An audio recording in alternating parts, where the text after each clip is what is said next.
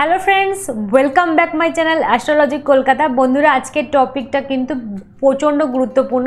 Request রইল ভিডিওটা কিন্তু পুরোটা দেখার। তাহলে লগ্নে যদি শনি বসে থাকে, তাহলে কিন্তু বিবাহ প্রচণ্ড দেরি হয়।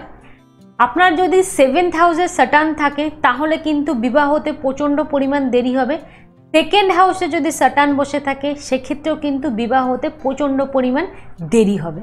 শুধু সাটান নয় কিন্তু সাটানের সাথে মঙ্গলও কিন্তু আছে। মঙ্গলও একটি কারক গ্রহ যেটা হচ্ছে বিবাহে প্রচণ্ড পরিমাণ বাধা হয়। শুধু দেরি না, বিবাহে কিন্তু বাধা পায়। অনেকের দেখবেন কথাবার্তা মিটে যাচ্ছে, গিয়েও বিবাহ কিন্তু হচ্ছে না।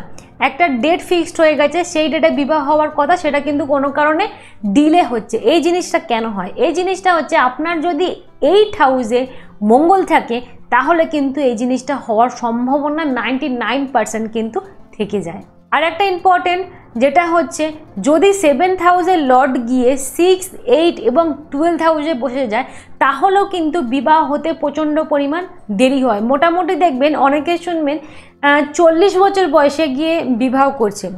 তাদের কিন্তু এই জিনিসটা থাকে, তবেই কিন্তু এত দেরিতে গিয়ে বিবাহ হয়। শুক্র সেভেন্থ হাউসে থাকলে কিন্তু বিবাহ হতে প্রচণ্ড পরিমাণ দেরি হয়।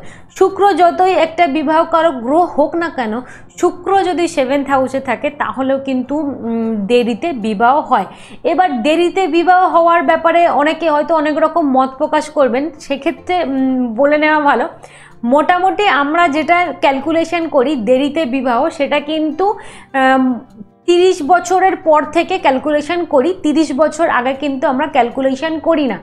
কারণ একটা ম্যাচুরিটি আসতে মানুষের কিন্তু তিরিশ বছর সময় লেগে যায়, সেটাকে আমরা ক্যালকুলেশন করি না। তিরিশ বছরের পর যদি কারোর বিবাহ হতে দেরি হচ্ছে, সেক্ষেত্রে কিন্তু এই ক্যালকুলেশনগুলো কিন্তু প্রযোজ্য। তার আগে কিন্তু এই ক্যালকুলেশনগুলো প্রযোজ্য হবে না, কারণ একটা মানুষের ম্যাচুরিটি তিরিশ বছরের আগে কিন্তু আসে না।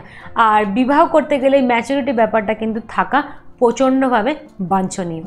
তাহলে বন্ধুরা, বিবাহ কেন দেরিতে হয় সেটা নিয়ে ডিটেলসে আলোচনা করলাম। ভিডিওটি ভালো লাগলে অতি অবশ্যই লাইক, কমেন্ট এবং শেয়ার করবেন।